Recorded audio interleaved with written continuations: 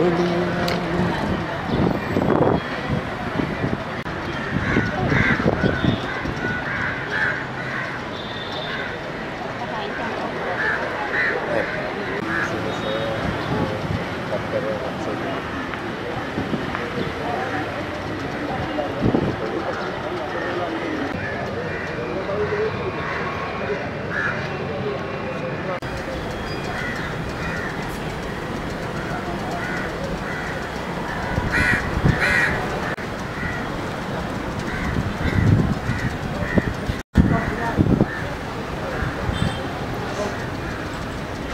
Today, uh, we are excavating on the 144th day. Uh, identified individual skeleton number is uh, 316.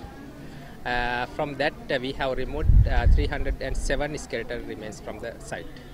So how was uh, our uh, reports? Yeah, that uh, I contacted the relevant lab. Uh, they, they informed me. Uh, I think uh, within 14 days of uh, working days. That means that by tomorrow it will be ready. Most probably because the, they are proceeding on it, and I think most probably they will provide on uh, by tomorrow.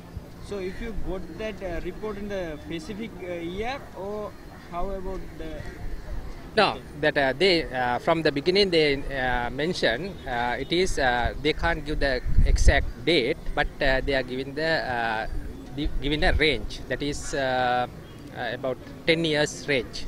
range? So did you get any uh, other children bones still? No, actually that uh, last uh, as we informed you last Friday, uh, the uh, total count of uh, skeletal number is uh, 26 belongs to uh, kids. Kids. So did you? Uh, not specific ones. That uh, uh, as previously we are getting that uh, routine that uh, is uh, porcelain like that. So today why a lot of policemen here? Yeah, because they actually they came to uh, came for that uh, academic purposes. Uh, they belongs to uh, uh, police academy and the higher education uh, with the collaboration of uh, University of Kelaniya, and only for the academic purposes they are coming as visitors and observers.